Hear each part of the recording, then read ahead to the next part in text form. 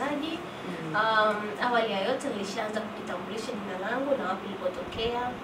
Mimi ni binti tuseme, bado sijafikia ule mama lakini ni binti wa makamo ambaye masuala yangu mazima ambayo nayafanyika katika jamii ni masuala ya kijamii, haswa kuelimisha jamii katika masuala tofauti tofauti, na njia ambazo huwa natumia, natumia mitandao ya kijamii, natumia uh, door to door, yani uh, kumtembelea mtu na kuongea naye, yani wanajamii, kuwazungukia masokoni, wapi wapi, sehemu kama hivyo.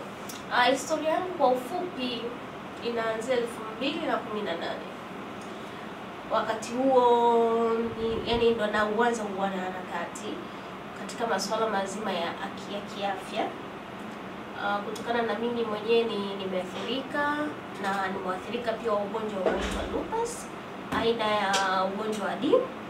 Kwa hiyo nilianzia hapo kuanza kufanya kutangaza, kuiambia jamii kwamba kuna ugonjwa huu na huu na huu, ndiyo ni adimu, lakini anybody can anaweza akaumwa. Sasa kama ni anaweza kama mtu yoyote, kwa hiyo ilikuwa ile namna ya kuwaambia wanajamii ili wajue ni namna gani ya kuweza kuishi nao wagonjwa wenye ugonjwa wa lupus au namna gani unaweza ukauepuka huo ugonjwa. Hivyo tu. Kwa hiyo historia yangu ndio inaanza hapo 2018. Nimefanya hiyo harakati sana sana sana, lakini pia kupitia hapo niliweza kuanzisha ni founder wa Lupus Awareness and Support Foundation. Hiyo ilikuwa ni, ni NGO ambayo nilianzisha kwa lengo moja la kwamba nataka wale ambao wanaumwa ugonjwa wa lupus wasije kupitia magonjwa wasije kupitia changamoto zilizoweza kuzipitia mimi. Ushaelewa? Kwa hiyo hiyo hilo ndo kubwa, na ndio maana huwa nafanyaga sana awareness mpaka leo hii hivyo. Okay. Ah, ni mengi historia na ni short and clear na kwenye tamu. Kwa hiyo hongera sana pia kwa hilo ambayo unafanya hapo. Katika kuelezea kwako, kujua historia hiyo, umetuambia kwamba una uwezo wa kwenda kumfuata mtu na kwenda kumwelezea hivyo. Ukiwa unaenda hivyo, unakutana na changamoto gani kwa watu? Uelewa wetu sisi wanajamii tunaelewa au ndio vile unafika bwana, mimi achana na mimi niache. Ah, changamoto zipo, changamoto zipo nyingi sana. Kwa nini nasema hivi changamoto zipo? Ni kutokana pia unavyoamua kwenda kumtembelea mtu. Kama kuna siku nilitembelea soko, soko la rangi tatu pale Magala. Uh, watu wanapo wanavyokuangalia kwanza, kutokana na jinsi nilivyo usoni, mtu anafikiria vitu tofauti kabisa. Anaweza hata hujamfikia bado, anaweza kajaji tayari, ah, vipodozi hivyo wanawake hawa kwa kujichubua hawataki Mm. ngozi zao sijui na nini. Wewe mwingine unaweza ukamsogelea kumwambia, ah, ah, utaniambukiza. Kwa hiyo comment mbaya zipo nyingi sana, Yes. lakini kikubwa mimi nicho nikifanya ni kwamba nina nia ya ninachokifanya, ninataka jamii ijue. Kwa hiyo sasa jamii ni hawa hawa wanaonikataa, kwa hiyo sina budi nijue namna gani ya kukabiliana nao. Kwa hiyo na yani hizo comments ni kama nazishit, naendelea najaribu kumwelimisha mtu mpaka aweze kunielewa. Ni hivyo ndivyo ninavyofanya. Ah, okay. Kwa hiyo mapokezi wanaolipokea wengi wachache ndio wanaoelewa, lakini wengi wao Bado. wana shiti, walikuwa wananiambia. Okay, lakini kupitia hivi kwamba tunaona kama wanatushiti, wanafanyaje? Tunaweza tukatafuta alternative way, labda tuje na mwandishi sasa, tuende group, usiende tena wewe, tuende hivi labda group leza tukatoe semina nini. Ushawahi kufikiria kitu kama hicho? Mm, kwa sasa bado kwa sababu mkono wangu pia ni mfupi Yes. ya, lakini na ndio maana niko na na najaribu kufanya namna gani naweza nikafanya hilo swala, lakini kusema kweli kwa sasa bado. Okay. Eh, na ndio maana naishia kwenye mitandao ya kijamii kufanya awareness. Kama nilivyosema, mitandao yangu ya kijamii haishii tu hapo, lakini pia kuna program ambayo inaendelea sasa hivi ama campaign ambayo naifanya chini ya Yodo. Hiyo inahusu lugha yenye staha, yenye staha, ambayo hiyo lugha yenye staha ni kampeni ambayo inajihusisha na masuala mazima ya namna gani unaweza ukafanya mawasiliano na mtu mwenye ulemavu bila kumkwaza. Yes. Okay. Hiyo tuende direct ili tuweze kujua, maanake wengi bwana, tuna unajua wengi hatujajua ile namna ya kama hivyo ulivyosema, kuna mwingine anakashwa kwamba hajui kwamba hicho ni kitu ambacho hata yeye ana uwezo wa kukipata, lakini anakuwa anaongea na watu wengi sana kwenye jamii. Hata tunaona utakuta hata akimwona mtu mwenye ulemavu, ah, bwana wewe nenda chiba mabongo sijui nini, ehe, anamsemesha kwa sababu hicho kitu kimewahi ni, ni, nimewahi yani kimewahi nikuta, alafu nilijifunza kupitia kwa sababu nilivyokuwa yani katika hali tu hivi ya utafutaji, yani na mimi nilikuwa na ile hali ya kusema hivi, naweza kusema uone vipi au wewe bwana uko hivi, wewe ni mtu mwenye hiki, hebu kaa hivi, yani unajua vile, lakini hicho kitu kikawahi kumkuta mwenza wangu, alipata ajali na kuvunjika mguu, so ikabidi nianze kutembelea magongo. Kwa sasa vile watu wakiwa wanamuita chiba magongo, nakasirika, yani nakasirika mpaka ndani ya roho, nataka kutoka. Sasa kumbe hicho kitu kumbe kipi, kama mimi najisikia vile, sasa how about yeye? Ambaye ni mhusika? So tunashukuru kwa hicho kitu ambacho mliwaza kutengeneza lugha yenye staha, ili angalau na sisi tukiwa tunasikia ambao ni watangazaji Mm. waandishi, tunakuwa tunakuwa mabalozi wazuri wa kuendelea kueneza hilo, ili angalau jamii, kuna wawili watatu wakisikia, nao pia watakuwa mabalozi wazuri. Kwa hiyo karibu tuweze kujifunza kwa hiyo upo sahihi kwa ndio yasema. Mimi na vitu vichache tu labda naweza nikawaambia.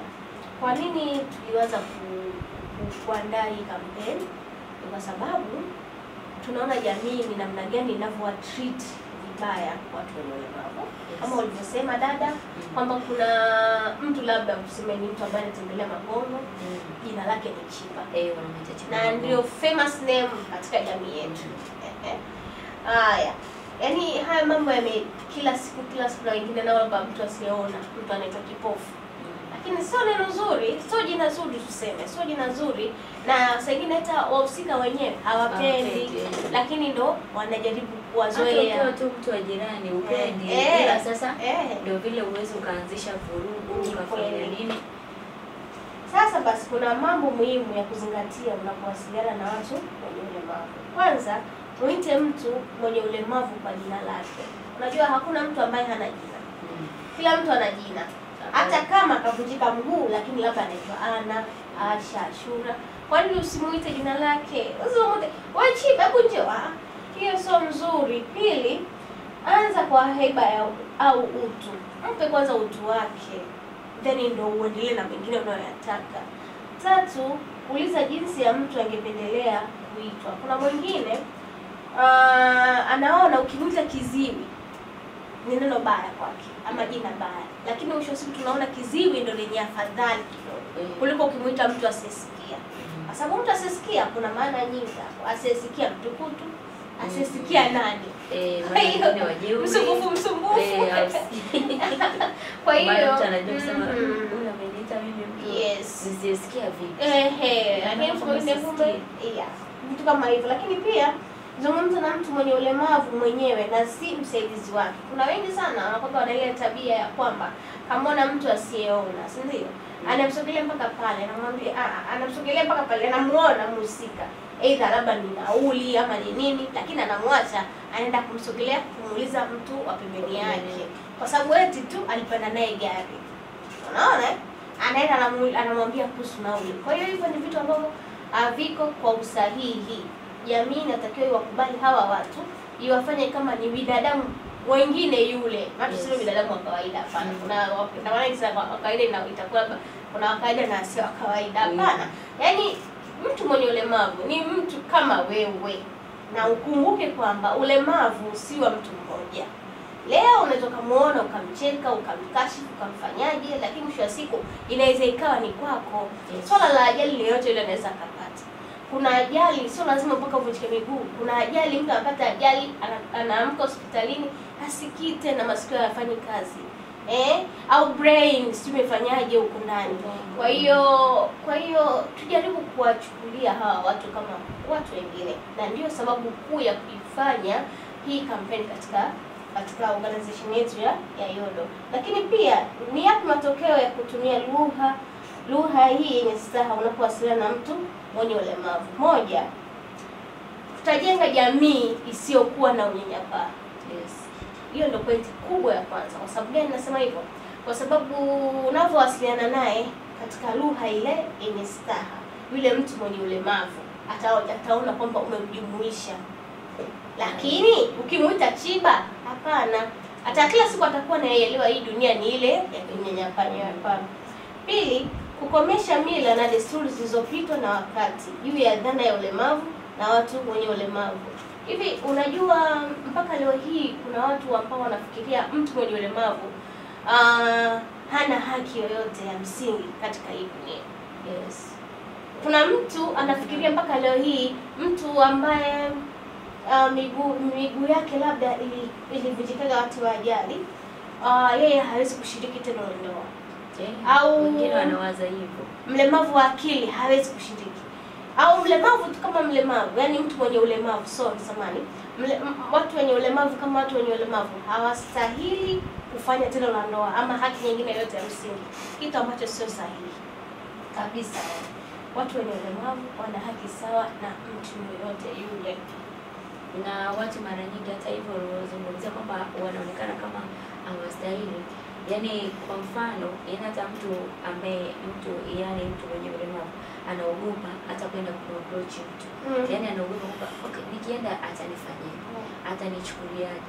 Sasa kuna kitu kama hicho jamani, wasikilizaji ambao mnatusikiliza muda huu, kwamba yule kwamba ataenda atachukuana labda sijui aendelee kuishi hivyo hivyo, naye pia anatamani kuwa na familia, naye pia anatamani kuendeleza kizazi chake, na sio kwamba akija akiendeleza kizazi chake kwamba kitatoka kama vile, kwa sababu huwezi, you never know, ile ni ajali labda imemkuta ukubwani, imemkuta hivyo, sio kwamba ni kitu ambacho alizaliwa nacho au kikawa hivyo. Na mara nyingi sana mtoto kama akizaliwa na kitu, yani waga wazazi wanajitahidi sana akiwa mtoto kukirekebisha, lakini akipata ukubwani ni ngumu, kwa sababu tunakuwa yani ni mara chache kupata huduma zile ambazo anazipata mtu akiwa mtoto. Kwa hiyo mtu ambacho anatakiwa kukijua ni kwamba watu ambao wapo kwenye jamii zetu, sisi wote ni kitu kimoja. Yaani hakuna kusema huyu ana hiki, huyu ni mtu ambaye yuko hivi. Ah, hapana, wote tuwe kitu kimoja, na ndio maana huwa tunakuwa na vipindi kama hivi kwa ajili ya kuelimishana. Tunatembelea na watu mbalimbali, tunafanya vipindi na watu mbalimbali ili tuweze kujuzana na kuhabarishana. So leo tunajifunza about lugha star ya kumuita mtu. Unamuita mtu vipi? Usimuite mtu kipofu